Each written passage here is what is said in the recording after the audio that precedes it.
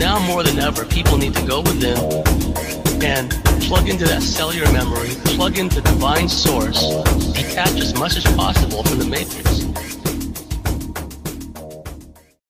Hello again, everybody. This is James Bartley, and you're listening to Bartley's commentaries on the cosmic wars. Well, a lot has gone on since I spoke with you last. Uh, before I get into today's topics, I want to give a shout out to our loyal members out there. Thank you for sticking with us, and thank you for believing in us and encouraging us to continue this work. Also, want to give a shout out to the people on YouTube that are commenting on our videos. Thank you out there. Your comments are much appreciated. And uh, believe me, we learn as much from you as you can learn from us. It's a mutually beneficial process, it's a mutually beneficial learning process. So, thank you, all the people on YouTube that comment on our videos. And also, thank you uh, especially to our members for supporting us all this time. There's a couple of topics I want to bring up. Uh, the first is what some colleagues and I refer to as the hijack. If it is a given that at least some of us had prior slash parallel incarnations in other star systems and other dimensions long before in linear time sense before we came here and began the seemingly endless spin cycle, wash, rinse, repeat, the karmic, uh, the karmic shuffle, let's say. Before all that happened, some or many of us were in these higher dimensional planes, higher dimensional star systems, what have you. So, how did we come here, right? How did we wind up here? I like to think that at least some of us were of the hardy soul, hardy eh, from the standpoint of physically, mentally, spiritually tough, and wanted to come here and right the wrongs, dismantle this paradigm, what have you. Some could put the word fool in front of hardy and say, well, some of us may have been foolhardy to come here and attempt this, right? I do believe a certain percentage of those people who had past incarnations in higher dimensions did come here as volunteers, for lack of a better term, to anchor higher frequencies and to do their part to dismantle this matrix setup. I think many others were dragged here kicking and screaming that something happened in their worlds in these higher planes, higher dimensions, some kind of invasion, some kind of incursion. A huge trap was set up so that when the people thought they were fleeing or escaping, somehow, some way, they were pulled down into a vortex and excreted into our solar system in this little corner of the multiverse in particular, but also into this galaxy in this dimension. And and as we've spoken before on this show, this galaxy has been the scene of countless wars, space wars, Star Wars for millions of years. So we go from a higher dimensional place where for the most part strife and what have you are unknown, but somehow or other these negative, intrusive, archontic forces make their way there into these higher dimensions, higher planes, and they hijack us, Shanghai us, pull us back into this reality, this dimension, where some of us did have incarnations on other planets.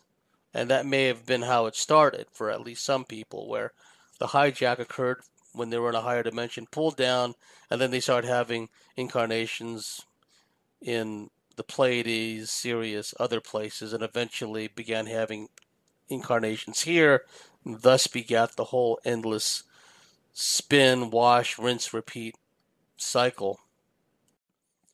We often hear of alternate reality ops, people having alternate reality experiences in the dream time when people fall asleep, they achieve body separation, their consciousness, soul matrix, at least a part of it, separates from the body and essentially goes dimension hopping from one place to another, one plane or dimension to another. Others are very adept at this, others can consciously do this. Speaking to MILABs and certain abductees, contactees, I'm satisfied that some of them, the legitimate ones, do have this alternate reality capability. This capability of going from our plane of existence, our dimension, to another one. And sometimes these seem to happen at an oversoul level where we're not consciously even aware that we're doing this. We just find ourselves in some alternate reality battling zombies or rescuing people from underground reptilian lairs, whatever the case may be. What if, what if, and I'm just thinking out loud, one often hears talk about, oh, this world is a big simulation, this universe is a big simulation, it's a big computer program, it's a hologram, so on and so forth. Well, we still have to live in it, we still have to breathe in it, we still have to exist in it, and we go through all the gamut of emotions happiness, sadness, love, uh, hate, tragedy, strife, plenitude, serenity, all points in between. It's a free free for all. It's uh, what they called in Vietnam a free fire zone. So that's really happening, and I'm not detracting or marginalizing that aspect of it. We're here, we have to deal with it, whether it's a simulation or not. But what if, what if at an oversoul level, we had either chosen to or circumstances were set up where we were pulled down into this reality, into this dimension, to be caught up in this endless spin cycle, this karmic cycle. And what if the alternate reality experiences some of us are having and remembering to the point where some of us can actually, some people I know can actually sit down and write out from A to Z everything that they experienced the night before in alternate reality in minute detail. And in fact, they go often go back to these alternate realities, interact with people, beings, oftentimes the same people, the same beings in the same places, right? What if we ourselves, us on this plane, in this dimension, we are the avatars, if you will, of more metaphysically advanced counterparts who have more metaphysical capabilities can consciously utilize metaphysical capabilities, super strength, agility, flying, teleportation, what have you. And our counterparts are that much more ahead of us as far as capabilities are concerned in some of these alternate realities than we are. And what if the alternate reality experiences that people are reporting, consciously taking part of, part in rather, that it's kind of a, a bleed through into this life where some people can consciously go into alternate realities and do things, but others can't consciously do it. It's just something that happens. And what if the aspects of them, their counterparts that are doing all these things in alternate realities, manifesting all these abilities, we're kind of like the minor league version of that at this point. Almost as if, as part of the hijack process, our DNA profile, our higher dimensional DNA profile, our soul matrix or aspects of it were brought here. An avatar was created for us in order to take part in this endless spin cycle, rinse, repeat, wash, karmic thing but our real selves, quote unquote, or at least the real potential that we have to do do all these metaphysical superhuman things, if you will, that our counterparts are doing that. And in many ways, at an oversoul level, where all of our counterparts come under this umbrella of oversoul, past, present, future, parallel, in an oversoul basis, we're just waiting for us in this reality, the reality that you're listening to me at, to catch up. Because I think that that's part of the process of reintegration. Is not only that we reintegrate fragmented aspects of ourselves that have been kind of severed from us as a result of trauma in this and other lives. This is what Bernard Gunther and, and Laura Matsu were just talking about, and, uh, and others have discussed.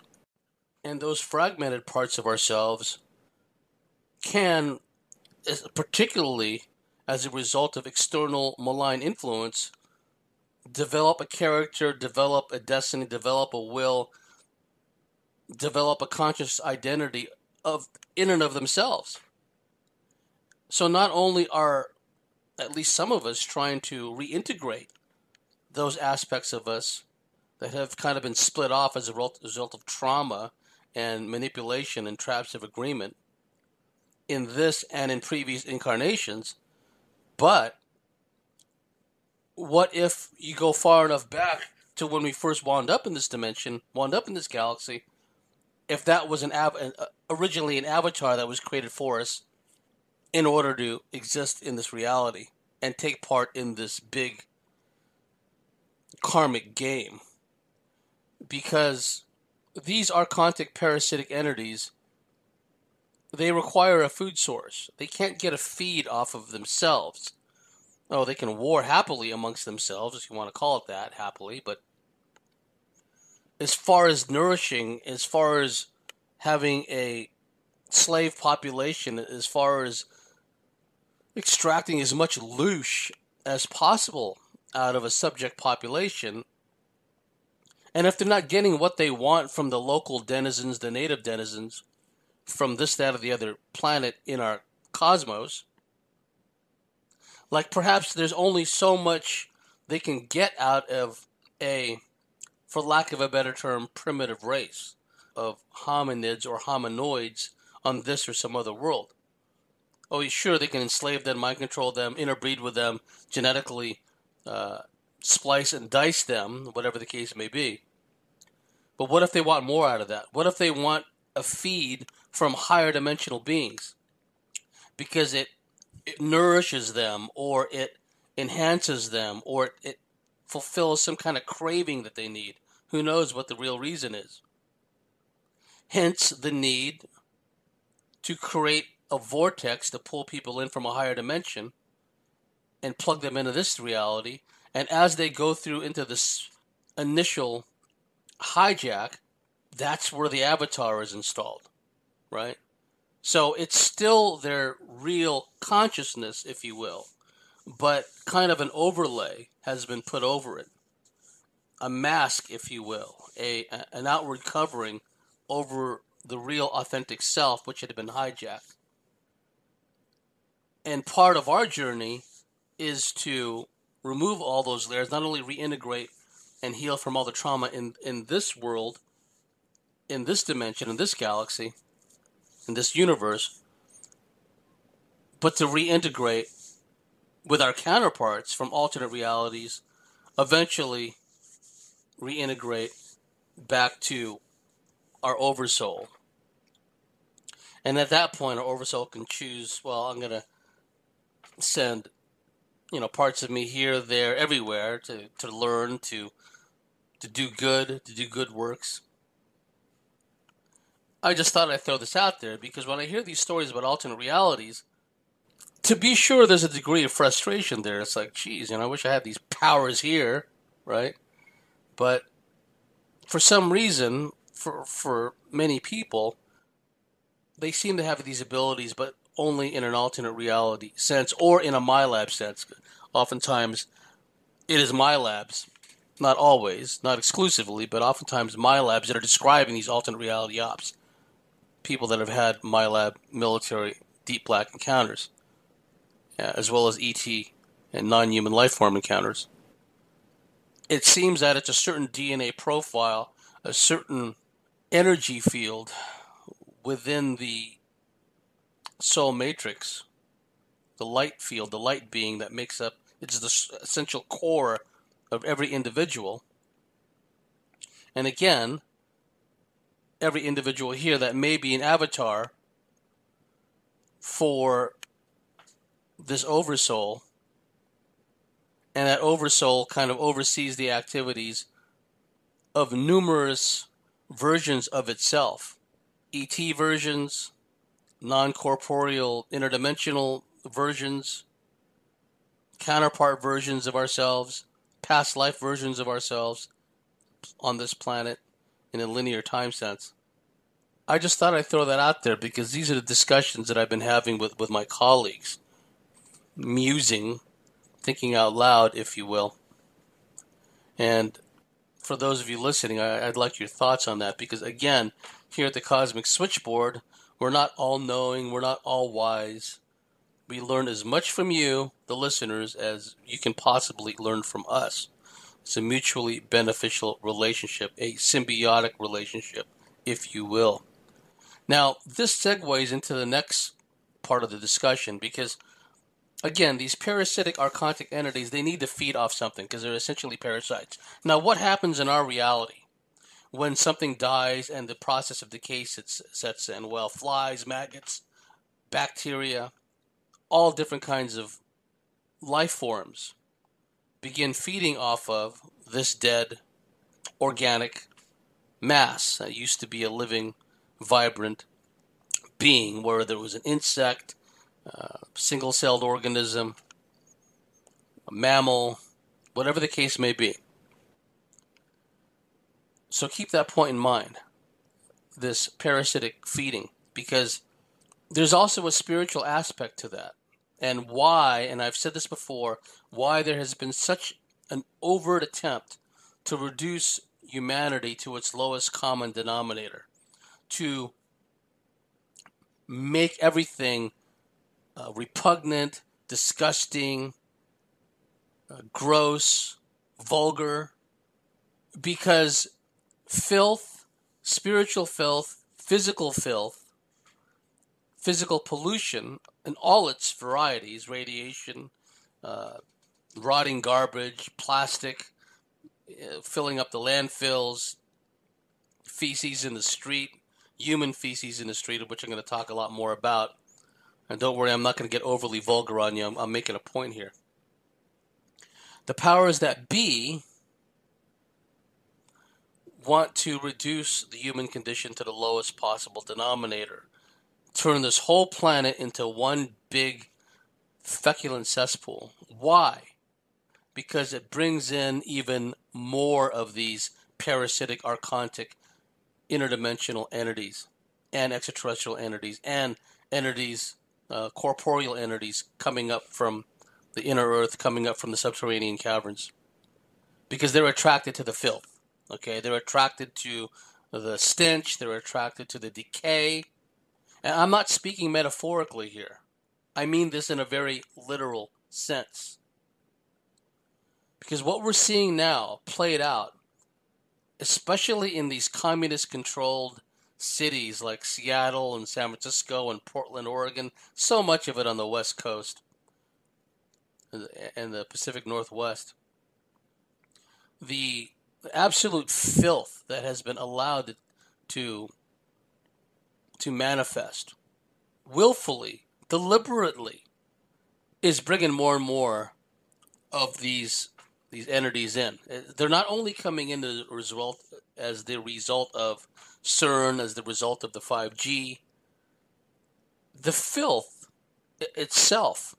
Have haven't you ever been in in a place. It could be a derelict house. It could be a squatter's house. It could be a friend or a relative or an acquaintance who's just an absolute slob. Just a dirty, smelly place. Not only was the air foul in these places, fetid, disgusting, reeking, but the energy, the atmosphere, the energetic atmosphere along with it was sullied, was totally disgusting and dirty to the point when you leave the place, the first thing you want to do is take a bath. And then when you consider what's happened to our oceans, beaches, our forest, and now they're cutting down huge swaths or burning down huge swaths of the Amazon, which are the lungs of this planet. And you can even go further back and look at, and I've talked about this before. Uh, if trees are the lungs of our planet, what about these gigantic prehistory trees? I'm one of those people. I have no reason to doubt because to me it's scale invariant. When I look at these videos on YouTube talking about how some of these plateaus, buttes, and mountains and mountaintops are really the remains of gigantic tree stumps.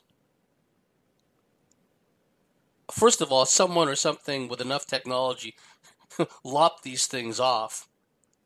Razor cut. Now you have a butte. Now you have a plateau. Now you have a Devil's Tower type place. But then you look at all the features in and around the mountain. You see the same exact same thing with trees. So, following the analogy of trees are the lungs and vegetation are the lungs of our planet, well, someone way back when decided a long time ago, let's cut down all these big trees that reach high into the sky, like in the movie The Avatar. And it fulfills two purposes. One, it reduces the the air supply, oxygen supply by that much because everything is inversion, right? We're told that carbon dioxide is bad. No, carbon dioxide is essential. It's what trees utilize to convert into oxygen. And there's no telling what kind of capabilities, metaphysical or otherwise, physical or, or metaphysical, we'd have if we had that much more oxygen to work with. I mean, just imagine how much oxygen was available during the age of the dinosaurs. Now imagine we had that same amount of oxygen now. Imagine what that would do to our brain power. Imagine what that would do to our cells. I mean, you hear all this talk about, well, yes, you have to work on your breathing and, you know, get the breath really deep down into the lungs and work on conscious exhalation, etc., etc. What if we had been all along in this environment heavily saturated with oxygen? Who knows what we could have achieved? Who knows what we could have done? So, on the one hand, they're cutting down these huge trees, thereby reducing the oxygen content by that much. Secondly, it's maintaining the cover up. Because if we all woke up one fine day and we saw these gigantic trees trees reaching into the sky, well, you know, I don't know about anyone else, but that would raise questions in my mind. So, getting back to the point, that I'm making. Amazon burning down, chem spraying, pollution, air, water, land, and now increasingly the filth that's showing up. Not not just in the inner cities, in in the, the main streets, uh, in front of courthouses, in front of municipal buildings, because of the homeless situation that's been created and the pernicious nefarious activities of all these leftist, communist, cultural Marxist mayors, city councilors, city managers. They're taking the filth. It wasn't before, you know, I would talk about all the filth and vulgarity on on TV, on Saturday Night Live, on uh, on the Comedy Central channel, and all this other stuff. Nothing funny about it. It's all just vulgarity. But now it's it's not just vulgarity of the mind it's vulgarity, it, it, it's pollution, it's stench, it's rotting, decaying things on the streets of America. And that will raise the level of paranormal events, raise the level of entity infestation, raise the level of people being taken up as host, that much more. I had Sue Plevetic on this show a few months back and she talked about with her etheric third eye vision how, well, she sees these dark shadow entities hanging around abortion clinics. She sees all these entities swirling around these towers, these wireless towers. And they may not even been 5G. They could have just been like the older 4G towers, wireless telecommunications towers. How much more of that will we see etherically and feel energetically when the 5G rollout is at, is at its height. Because Sue said there was all kinds of entities and all kinds of weird, you know, magical hoochie swirling around all these radio towers. So there's a conscious effort to bring all this stuff in. It reminds me of H.P. Lovecraft and how, in some of the books, the novels he wrote, one of the themes was all these rituals will be created, will be done for the express purpose of opening these huge portals and these huge stargates to allow, quote unquote, the old ones in. Because if you go by what Tom Montalk says, I have no reason to doubt it. I mean, I, am a firm believer in this. He talks about the organic portal, how people that are people that are um, seemingly organic, walking, talking people are themselves these portals, these gateways for all these different entities, actual conduits into other realms, other dimensions. And some of these types are real energy vampires, real energy drains.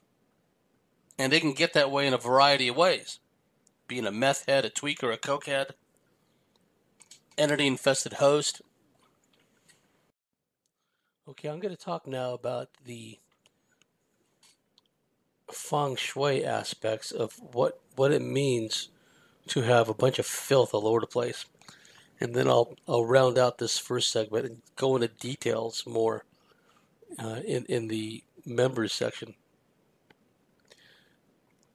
I alluded to earlier how the Hollywood entertainment business, run by all these Talmudic types, how they've for so long now been pushing vulgarity, filth, feces. Uh, just all these various abominations in our faces and making it normal, right? Oh, it's funny. It's supposed to be a joke. Oh, look at that. It's uh, feces. Ha ha ha ha. That's hilarious. And that became the norm. I mean, just think of all the Seth Rogen movies, the uh, I forget what movie it was that Seth Rogen or one of his cronies was in, but uh, anyway, it was just such a vulgar scene. It doesn't even bear repeating here. Not even worth repeating here. But the point of relevance is they've normalized vulgarity, uh, putrefaction, uh, disgusting stuff all across the board in all its forms. They've normalized that. They've put that on TV and in the cinema and what have you. Okay, so keep that point in mind because the same powers that be that control Hollywood are by and large the same ones that are responsible for all the filth in these aforementioned communist controlled cities like Seattle and Portland and San Francisco. What they are experiencing and have been experiencing for some time is a feces problem where they've just made it legal, made it normal for homeless people for anybody really to defecate in public, defecate on the sidewalks, defecate on the streets.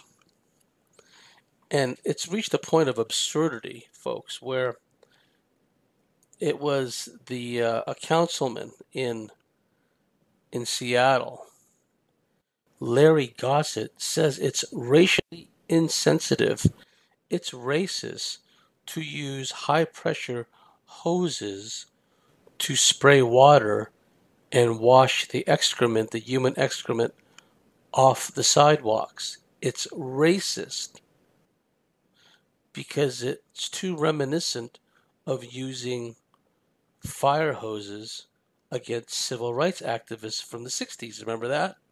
Those iconic images of, of uh, civil rights workers and blacks being blasted by fire hoses by the police. But this guy in Seattle, this council member, is saying, oh no, we can't use hoses and spray water on feces, on human excrement, off the sidewalks. That's racially insensitive. And when I first heard that, I I didn't think about the civil rights aspect to it. I mean, any excuse will do, folks, right? But these whack job commies no, I just thought, okay, wait a minute. Is it because the crap is brown or dark? And then if you spray it, you're being racist by getting it off the sidewalk Is that what he's banging on about? And then I thought about it. Well, you know, because of the sun, because of bleaching, because of poor nutrition. And I'm not being vulgar here, I'm not giving too much information, TMI, but sometimes turds wind up white. I've seen it happen. Dogs that are given very bad dog food, for example, you know, and, and then you know the dung is exposed to a lot of sun a lot of the elements, they turn white. I just saw one the other day a white dog turd. So, what happens to that? Oh, you can't leave that white dog turd or that white human turd on a sidewalk. That's white privilege. That has to be washed off. I mean, I'm not even going to try to get into the minds of these whack jobs. And cities like San Francisco, Portland, Seattle, it just there's excrement everywhere. There's poop everywhere to the point where there's enterprising young man, and I think he really did a great job. He came up with a phone app called Snap Crap. That's right, called Snap Crap. And what it does is, you know, when you're in San Francisco or anywhere else, he apparently he was a native of San Francisco, and this hits me kind of personally, folks, because you know what? I grew up in the streets of San Francisco, uh, in Daly City, which is right next door.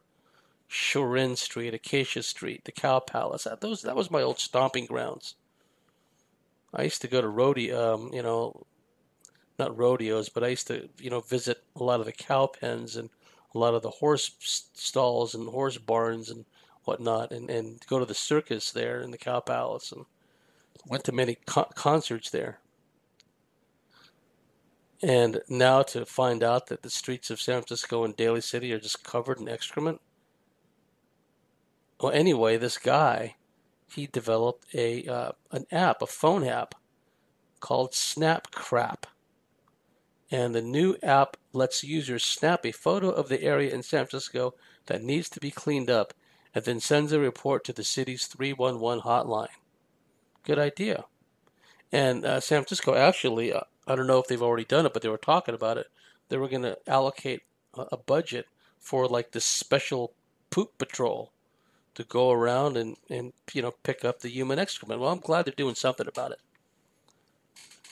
Better than in Seattle, where oh no, you can't spray the crap off the sidewalks because that's racist.